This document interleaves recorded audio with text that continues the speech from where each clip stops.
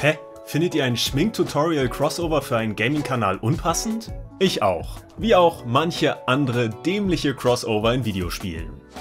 Manche passen gut, wie Sea of Thieves und Monkey Island. Aber das ist nicht immer so. Was es für wilde Auswüchse gibt, schauen wir uns heute mal an.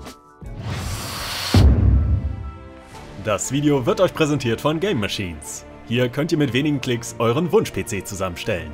Ihr kauft völlig ohne Risiko, denn alle PCs kommen mit einer 30-Tage-Rückgabemöglichkeit. Schaut vorbei auf gamemachines.de. Vorbild Epic. Kein Spiel hatte bisher auch nur annähernd so viele Kooperationen mit großen Marken wie Fortnite. Über 200 gab es bereits. Hier taucht nahezu alles auf, was unsere Popkultur so hergibt.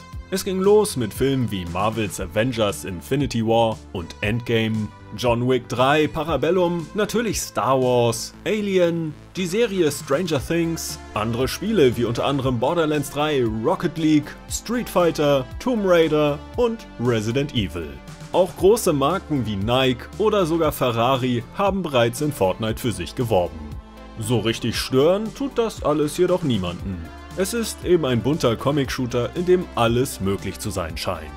Hier gibt es kein konkretes Thema. Das Spiel versucht sich immer wieder neu zu erfinden und setzt sehr auf Crossover und Kooperationen, um uns ungewöhnliche Situationen zu liefern. Wie virtuelle Konzerte oder ein eigenes Lego-Spiel in Fortnite. Hier passt wohl alles irgendwie. Und es ist sicherlich lukrativ für Epic Games und die Markenrechtsinhaber.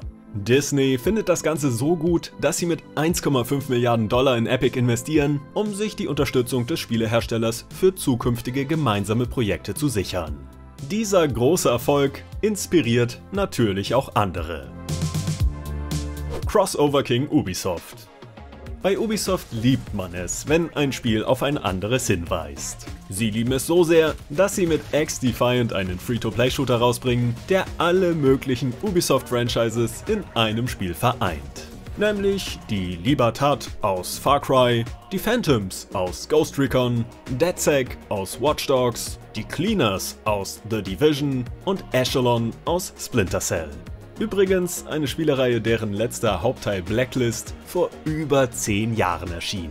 Viele kennen diese Reihe vermutlich nur noch aus bisherigen anderen Crossover-Auftritten, wie aus Ghost Recon Wildlands. Hier passt das ja auch alles wunderbar, da gibt's wenig zu meckern. Etwas anders sieht das bei Assassin's Creed aus. Bei Assassin's Creed Valhalla geht es zum Beispiel um eine Wikingerwelt in Norwegen und England.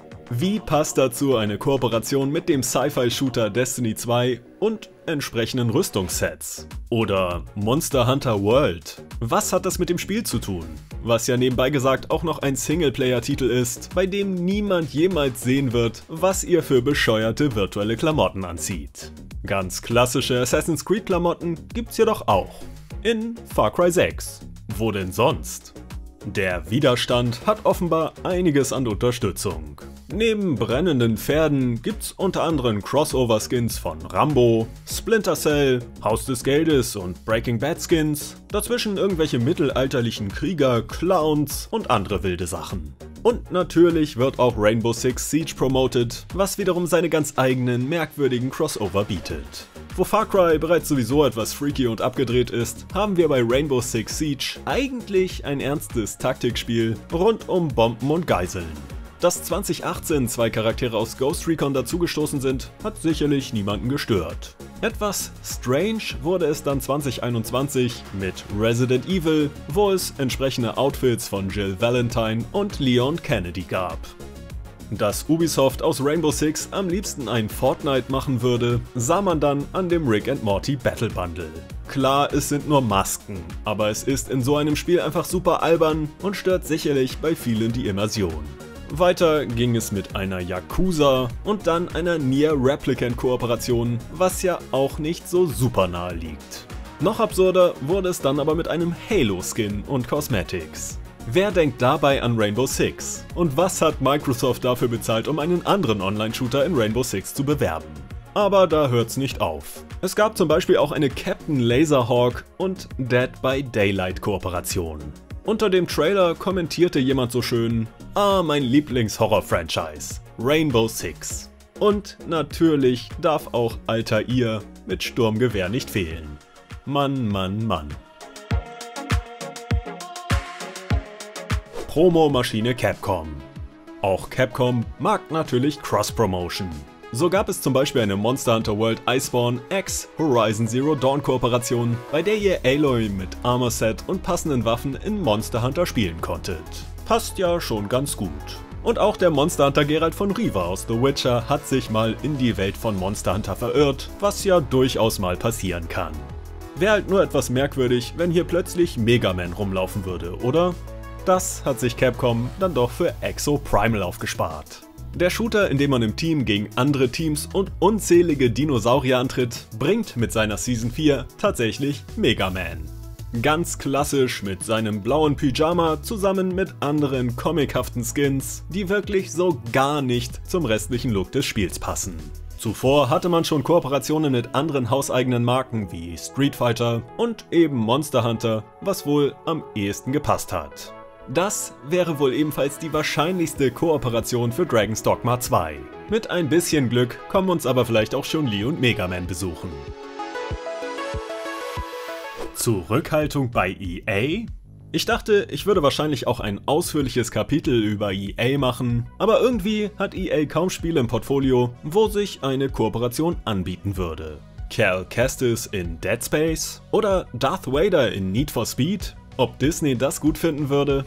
Der Free-to-Play-Shooter Apex Legends bietet sich hier natürlich an. Tatsächlich gab es hier aber noch gar nicht so viel. Zumindest nicht im großen Stil. Aber man bewirbt offenbar Square Enix Spiele. Erwähnenswert ist das Final Fantasy VII Rebirth Crossover Event, das es kürzlich gab. Vielleicht ist das ja erst der Anfang. Battlefield 2042 hatte vermutlich nie den erhofften Erfolg, sodass sich Markendeals hier kaum gelohnt hätten. Abgesehen davon haben sich die Spieler bereits über das unpassende Santa-Outfit und Fahrzeugskins für die Weihnachtszeit aufgeregt. Man findet in dem Spiel aktuell tatsächlich nur wenig abgefahrenes Zeug und ziemlich viel, was einfach gut zu Battlefield und dem Szenario passt. Wer hätte so eine Zurückhaltung von EA erwartet? Cashmaker Activision Blizzard. Und da sind wir auch schon bei Microsofts neuester und größter Gaming-Akquisition. Activision Blizzard gehört zu den Unternehmen, die es perfektioniert haben, Spielern Geld aus der Tasche zu ziehen. Natürlich nicht nur mit Lootboxen, sondern auch mit allen möglichen kosmetischen Gegenständen. Der größte Moneymaker Call of Duty fiebert in letzter Zeit immer mehr Fortnite nach. Es gab da schon immer irgendwelche Kooperationen, aber es wird immer mehr und immer verrückter. Eine Zäsur dürfte die quietschpinke Integration von Nicki Minaj in Modern Warfare 2 und Warzone gewesen sein inklusive passender Voicelines.